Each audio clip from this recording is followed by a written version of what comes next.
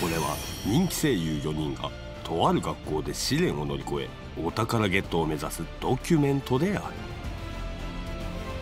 最後のキーワードを手に入れるための最終試練。エレンが非常にサイコロトーク2で前回井上と橋爪の合計点数は55.1点と好調な滑り出し。続いての挑戦者は石川。あおおおおおこれだ「進撃の巨人」の声優をやっていて得した話略して、うん。新生徳。結構。新生徳。得したって言いますか、はあ。海外に行っちゃった。あらもう何よりも得したって言言っていいんですかね。いやでもそうでしょうね。そうなんですよ。なかなかそんな作品ないですから、本当に7カ国でしたっけ？7カ国行かせていただいて、この国が素敵だったとかこんこの国でこんな面白いことがあったとか。えー。シンガポールに行かせていただいた時の、リヴァイさんの人気が半端なかったです、あそう他の国よりもリヴァイってあの神谷さんがいらしてるわけじゃないんですよ。にもかかわらずリヴァイって言っただけでガーみたいな。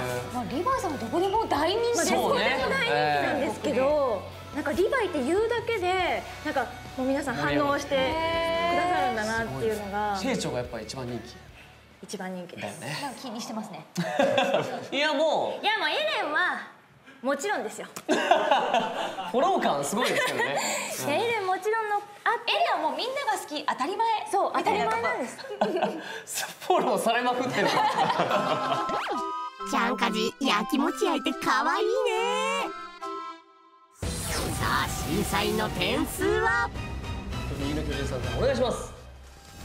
おここ声9.9キャラ弁の時の生人参の詰め方がえげつなかった。まあ井上さんがほぼ詰めてくださったんですけど。あれ？いやでもね私も二人のだから詰め直したんですよ。余計なこと言わなくていいよ。一番左の巨人。お願いします。おお実は一番ミカサが好き。よありがとう。かったね。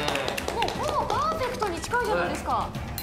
はっきり言ってトーク全く関係なかったけどちゃんゆい29.9を獲得で残り15点じゃあ梶さんがささっとなんか適当に喋ってくれて。興味ないみたいな言い方してるありますよ。でもね。一番聞きたい。じゃあ最後ちゃんかじ決めちゃって。け うん。自分でも変だと思う一面。略して。事変です。はい。なんだろう。ああまあ恥ずかしがり屋なんです僕だしこう人見知りだし。だからこの仕事あんまり向いてないのかなとは思うんですけど。恥ずかしがり屋はあんまり感じないけど。本当、だから今日ももうこうね皆さんいろいろお世話になってきましたよ、もうすぐ10時間ぐらいですか？9時間10時間。一緒にいますね。ね撮影してるわけで。だからもうちょっとなんかこう落ち着いて皆さんのこう顔を見渡せるわけですけども最初はちょっとなんか「うるっす」って すれ違ってもちゃんと「お疲れ様です」って言えないぐらいのあ照れくささがありましたけどね。それがだから皆さんあんまそうじゃないのかななんて思うと。私は人見知りです。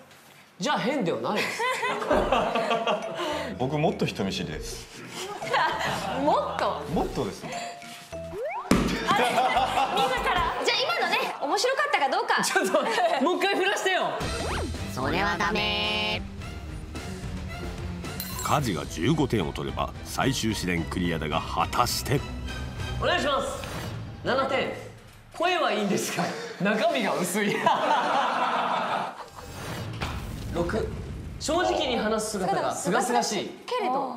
六点。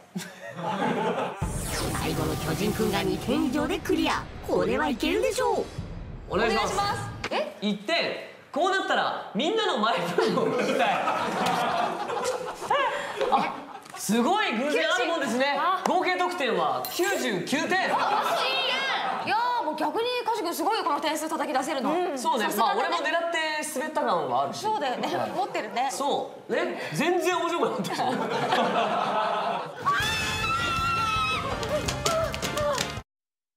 サさんが一人でまるまるしてみた」のコーナーです。挑戦したいと思うのは箱の中身はなんだろうなっていうようなこういうことなんです。お箱の中にはたわしさんが入っているんだよ。それを全く知らないというような手でリアクションを巨人くんが撮ってみるんだよ。すごい臨場感が。ああ大丈夫臨場感がすごいある。すごい。どうなってますか？今中の様子は。カニさんがいっぱい。わかんかんないです。わかんない。あーカメハメハ。違います。見ててくださいよ。ケンジ君。あ持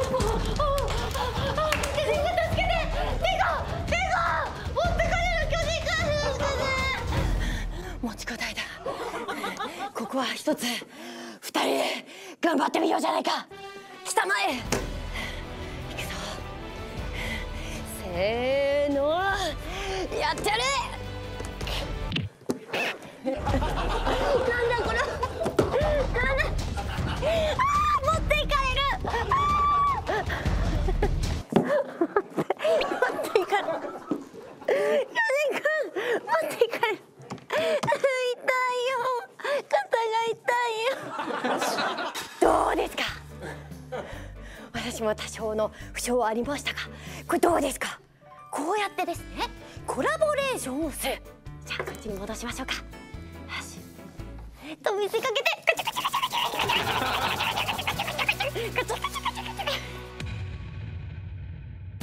次回ついに最終回。楽しいですねなんか卒業証書みたいな感じがありますが。4人が見つけた宝とは絶対